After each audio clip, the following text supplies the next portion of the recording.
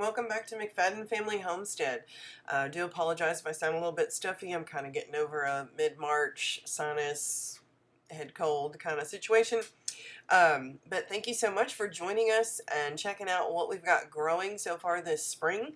Uh, we've pulled out um, some of our supplies, our trays, our plastic cups that we got holes in last year.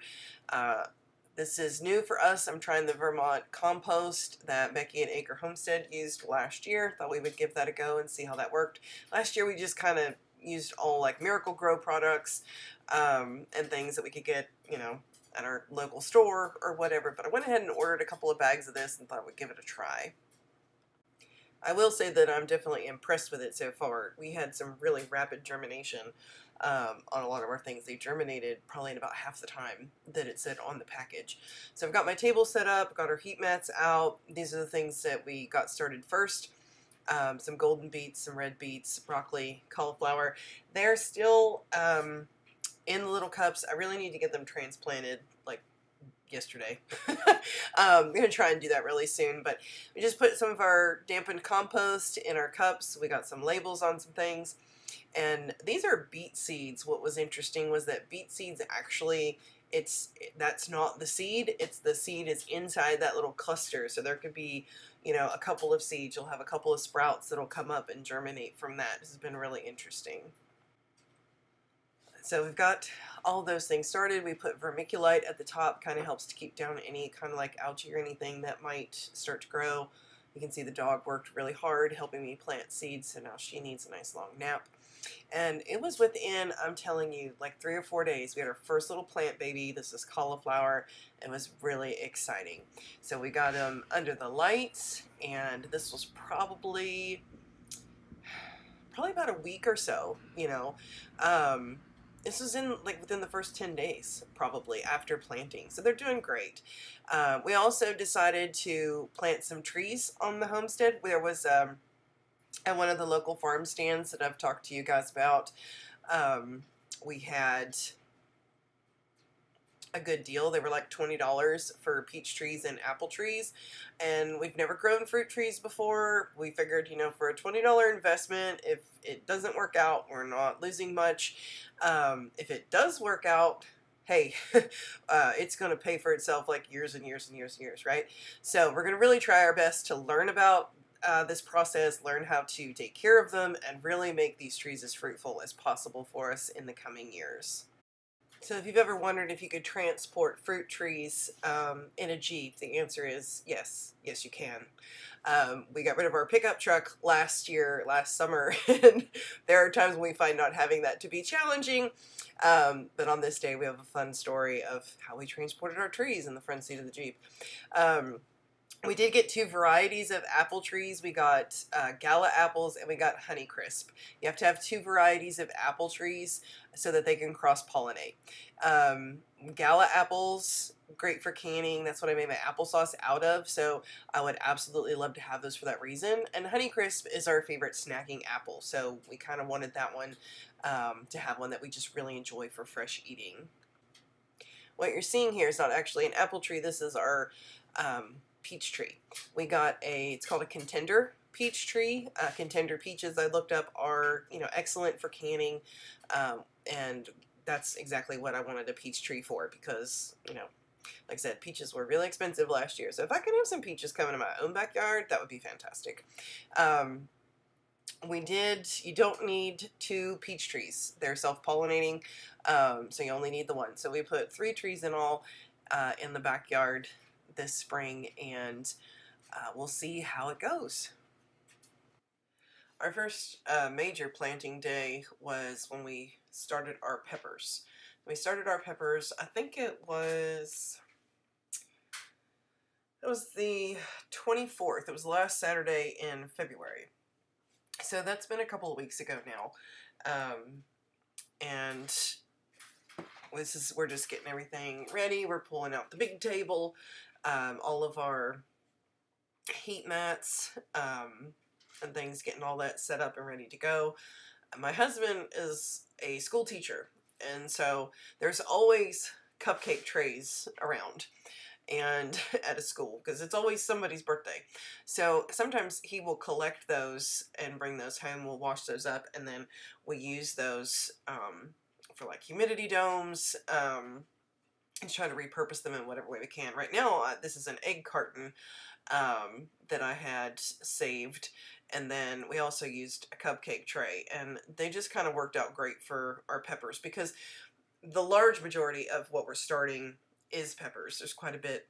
There's like 13 different varieties or something of hot peppers, and then we've also got bell peppers and mild peppers and things that we're starting. So it takes us just, you know, a couple of minutes to get the table figured out, figure out how we're going to situate everything, how we're going to be able to cover everything to create that humidity um, that the seeds need to germinate. Um, some of our equipment got a little banged up in storage over the winter. Um, but eventually we do get it all uh, figured out and determine how we want to do it. And for the most part, we did follow the formula of starting three seeds per variety. So our plan, and we've talked about this before, but our plan is we're going to start three seeds if all three plants germinate and are healthy and do well, then we'll gift the other two plants uh, to somebody else. We do have other friends that really enjoy hot peppers um, and stuff, and we'll just give the extra plants to them. There were a few that we did plant more than three seeds because my husband is just, he really, really wants these particular peppers and wants to make sure that um, you know that he that they germinate and that he gets you know what he wants for the coming season. So now we're going to go ahead and get ready to fill up our trays. Um, I'm going to put some of the, uh, the compost and potting soil in my bowl and then I'm going to dampen that with some water. It just needs to be damp. Um, you don't, if like if you squeeze it and water is coming out, um, you've put too much water in there. You really just kind of want to squeeze it and hold its shape. Um, this particular compost is actually designed for soil blocking, which is not something that we do. Um, but I wanted to give it a try because Becky just had really good results with it, and you know, I'm I don't really know, I've not really looked into it, but you know, I'm sure Miracle-Gro has stuff in it that I don't need. So this was a, an organic product, and decided to try and start uh, from there this year. So the cupcake trays were really nice because they're actually in rows of three um, for the seeds that we wanted to start, and then the other ones are kind of um, we sort of did uh, blocks of four, and those are I think mostly his like really hot peppers that um, he's definitely sharing some of them um, and then just really wants them to grow. So we actually ended up doing four of some things and three of others.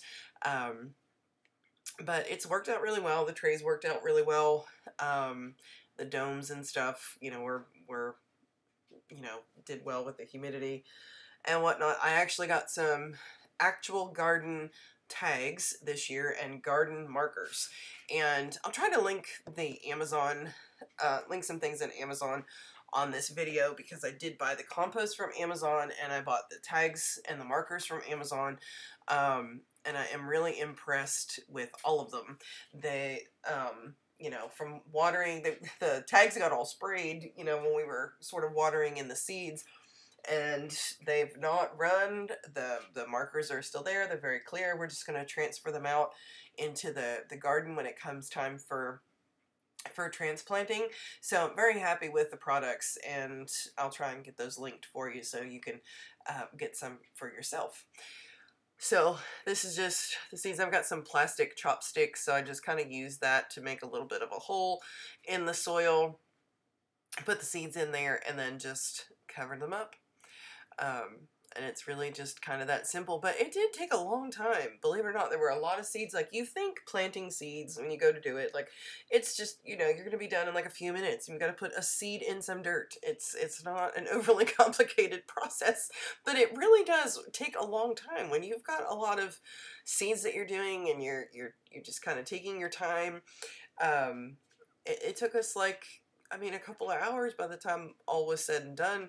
Um, it, you know, we had spent the afternoon planting pepper seeds. So, uh, but we had fun, and it's always exciting to plant something. It's even more exciting when those things start to pop up. We did have really good germination rates. Um, they germinated pretty quickly. I mean, just like the other plants um, and stuff, things are really responding to this compost really well. We do have some things that did not germinate, but the ones that didn't have a common factor, and it's not seeds that we bought from a seed supplier. So uh, we had really slow germination on my husband's Scotch bonnets, which this is the third year for those plants. So he had got some Scotch bonnets back in 20, I guess it was 21, um, that he really enjoyed and he saved some seeds from. And then those were the first seeds that we planted in our very first um, garden in 22. And then he saved seeds from some of those fruits and we planted those out last year.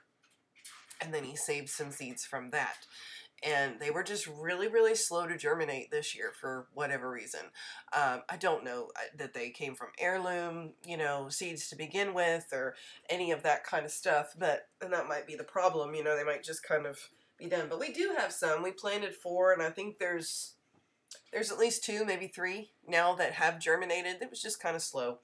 Um, we planted something called an orange datil, which was just a pepper that he had um, gotten from a friend that had grown them and he really liked them decided to save some of the seeds. We still don't have any germination on those. They did not take the jalapenos that we planted. We were seeds that we saved just from some really nice jalapenos that we got at the farmers market and they have not germinated. We planted six of those seeds actually and none of them have germinated.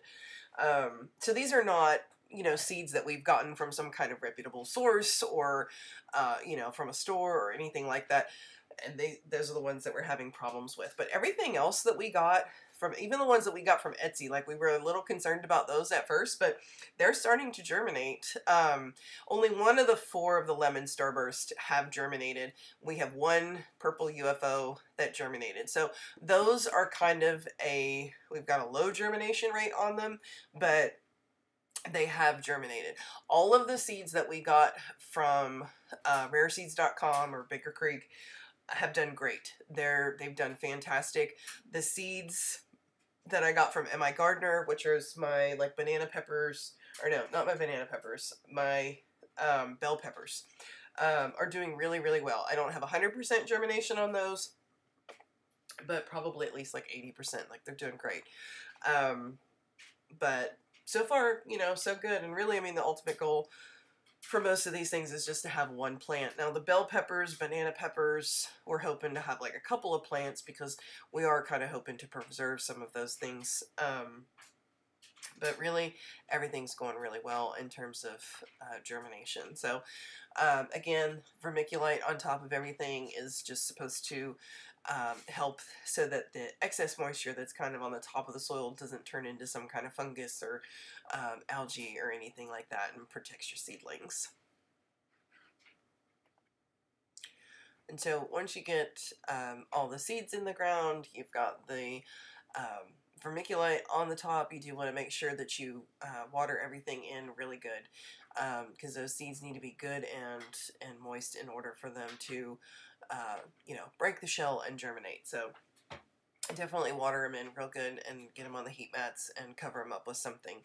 Um, we have since um, started our tomatoes. I don't have any footage of that because I'm having some issues with storage um, on my phone and things like that. So um, trying to get that all worked out and I didn't take any kind of film uh, footage or anything of my tomatoes. But we did start all six tomato varieties. We did that um, just a couple of days ago. So no germination yet, um, but that will be coming, I'm sure.